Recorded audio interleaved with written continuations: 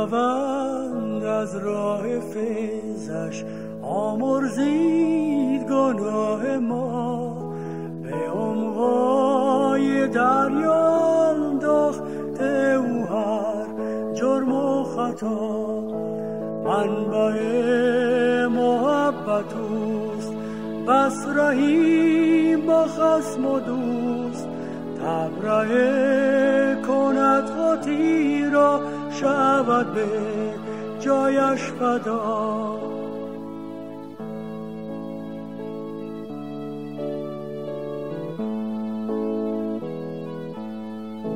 سر قدرت کلیسا در دعاست و اتحاد رحم و بخشش مسیحی میرساند این مراد.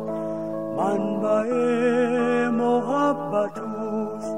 بس رحیم با خسب و دوست. تبرئه کند خاطی را شود به جایش فدا.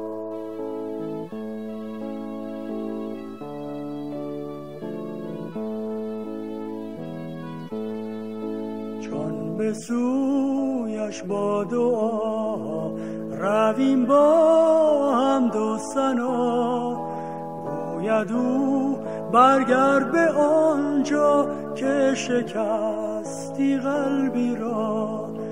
منبع محبت اوست بس رحیم با خسم و دوست.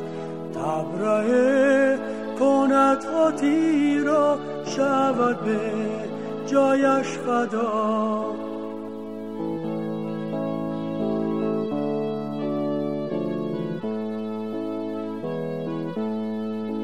گر نبخشیم از ته دل خطایای مردمان او نیامرزد گناه. در جهان بینیم زیان. منبع محبت اوست بس رحیم با خسم و دوست. تبرئه کند خاطی را شود به جایش